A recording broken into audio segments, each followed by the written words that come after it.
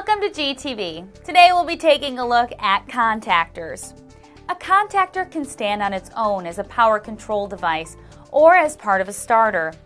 Contactors are used in applications ranging from a light switch to the most complex automated industrial equipment.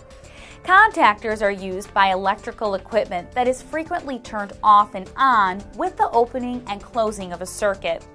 The function of the contactor is to make and break all power supply lines running to a load or to repeatedly establish and interrupt an electrical power circuit. Some major applications of contactors include lighting circuits, heaters, and transformers. Contactors are often used to provide central control of large lighting installations, such as an office building or retail building. To reduce power consumption in the contactor coils, latching contactors are used, which have two operating coils. One coil, momentarily energized, closes the power circuit contacts, which are then mechanically held closed. The second coil opens the contacts. Contactors operate when the E frame is energized by the coil and becomes an electromagnet. The armature, a companion to the E frame, is connected to a set of contacts. The armature is movable but is held by a spring.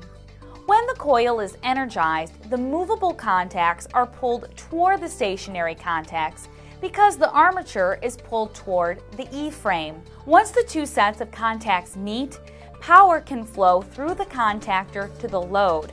When the coil is de energized, the magnetic field is broken and the spring forces the two sets of contacts apart. Contactors are used when no overload protection is necessary and at lower levels of electrical current.